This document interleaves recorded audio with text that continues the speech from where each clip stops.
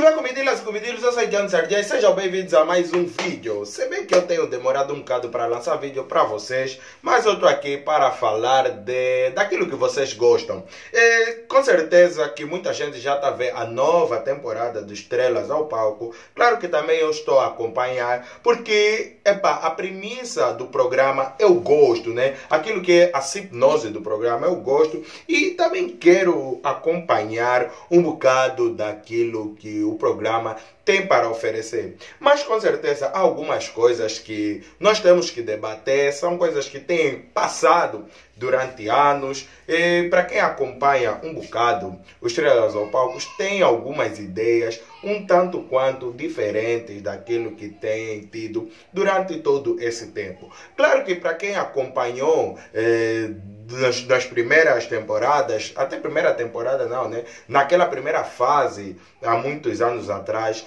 tem uma visão diferente daquilo que é o Estrelas ao Palco.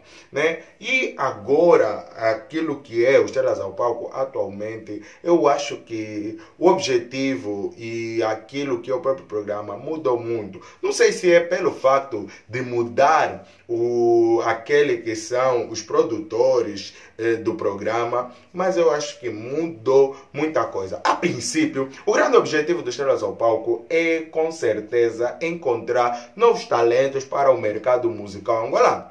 Mas só que eh, acaba por se perder um pouco, no meu ponto de vista. Eh, falo isso porque o programa apresenta-se como um programa de, como é que eu posso dizer, imitação. Onde a pessoa vai lá mostrar a sua imitação, como é que ele é eh, em termos de imitação, e para os concorrentes se trabalha exatamente nesse sentido. No sentido de imitação, você está a imitar um avatar, e nesse avatar você tem que atingir até o nível de perfeição daquele artista que já é consagrado a nível nacional ou a nível mundial que, entre aspas, é uma premissa ou é uma hipnose muito boa. Mas só que, no meu ponto de vista, principalmente com o exemplo dessa primeira temporada do Unitel Estrelas ao Palco, eu acho que é uma premissa um tanto quanto vazia e triste. Por que, que eu digo isso? Por que, que eu tenho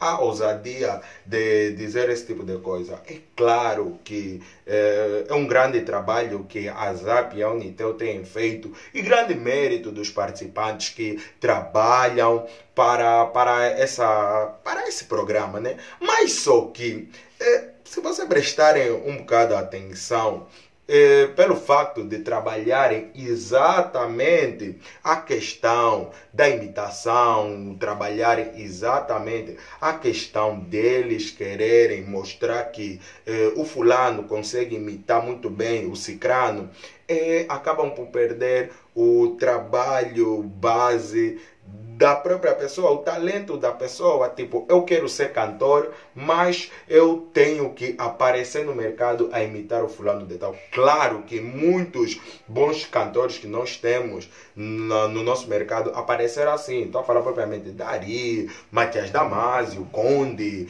eh, entre outros que apareceram exatamente assim. Mas é claro que do dia para a noite não conseguiram um lugar ao sol e também não conseguiram se afirmar no mercado musical angolano.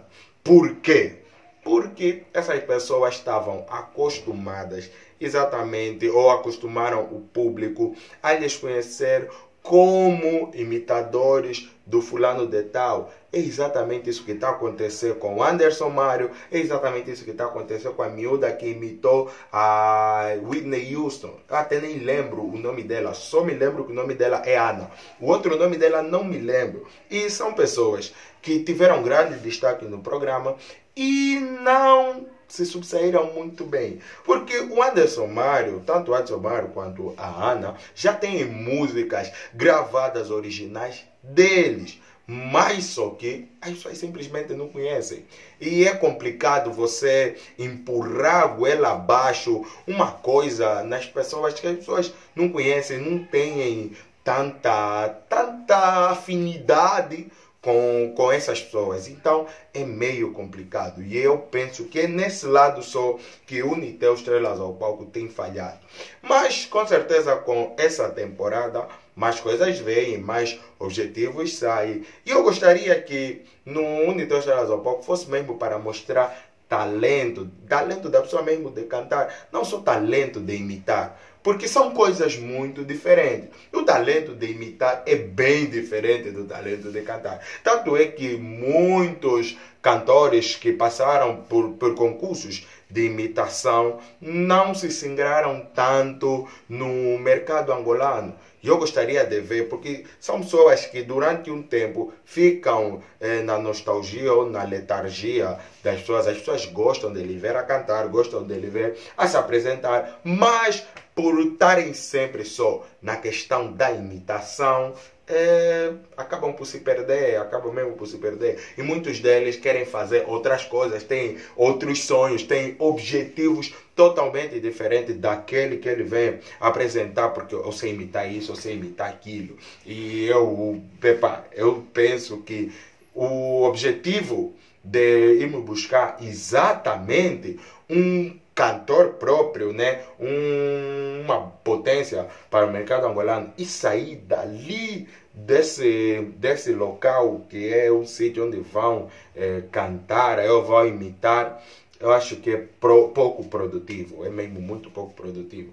Ainda acho que é, são poucos os que vão mesmo se singrar. Porque no caso do Anderson Mário, principalmente, é uma forçação, vamos lá ser sinceros. O Anderson Mário é uma forçação da Unitel. Ele aparece muito no, nas atividades da Unitel, aparece muito em, vários, em várias atividades mas é uma forçação. É tipo, nos meter o Anderson Mário goela abaixo. Tá a ver? E não encontra, ou parece que não, não procura mesmo quem tem vontade de cantar, quem quer cantar, quem quer mostrar o seu verdadeiro talento. É muito complicado. E recentemente, com essa nova temporada, eh, estamos a ver lá os momentos das audições, onde muitos cantores aparecem. E eu até fico triste porque tem muito bom talento que acaba por ser esquecido durante essas apresentações porque tem muitos deles que cantam muito bem, mas só que eh, eu acho que é objetivo né, do próprio programa, acabam por ser deixados de lado. E eu também vejo lá durante essas apresentações algumas injustiças, porque tem gajo que não canta lá nada, grande coisa, a voz é horrível, eh, outros estão a ir lutando em inglês e não é lá aquela coisa interessante de se ouvir, mas mesmo assim está a ser passado. Por exemplo, é engraçado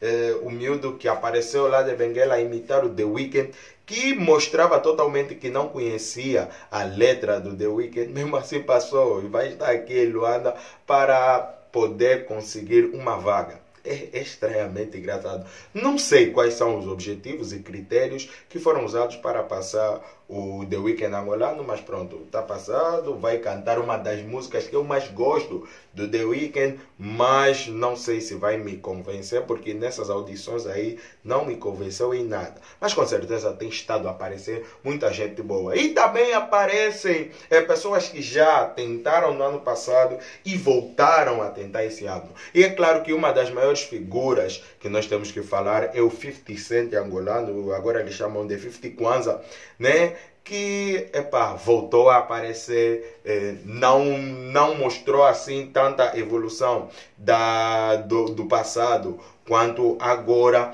mas mostrou aquela vontade de querer ser cantor. Esse jovem, o Kalala, acho que é esse o nome dele, acho que é Fernando Kalala, não tenho bem a certeza, mas eu sei que o último nome dele é Kalala. Além da do programa, da direção do programa, ter errado é, epa, de forma incrível, errado no nome, erraram no, no, como é que se chama, na idade dele, mas mesmo assim o Kalala voltou a aparecer e dessa vez a voltar a insistir a cantar o 50 Cent com Windows Chapa com uma letra que só ele que conhece. Ninguém conhece aquela letra, nem o próprio 50 Cent conhece aquela letra do Windows Chapa, só o Kalala conhece. Mas com esse aparecimento surgiram muitas oportunidades, uma delas foi uh, conseguir uma bolsa de inglês para aprender o inglês. Isso foi bom, foi bonito por parte dos empresários que conseguiram essa cena para eles e também vai fazer algumas atuações, né? Ou se fosse esse Camone, com certeza investia mais